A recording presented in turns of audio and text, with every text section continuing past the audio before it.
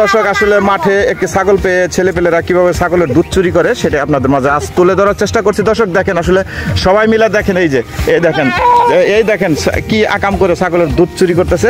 দেখুন দর্শক, এই যে, দেখুন, ছাগলের দুধ, দর্শক, আপনারা দেখতে পাচ্ছেন, এটা ছাগলের দুধ চুরি করছে। দেখছেন দর্শক আপনারা? ছাগলের দুধ চুরি করছে দর্শক, আপনারা দেখতে পাচ্ছেন।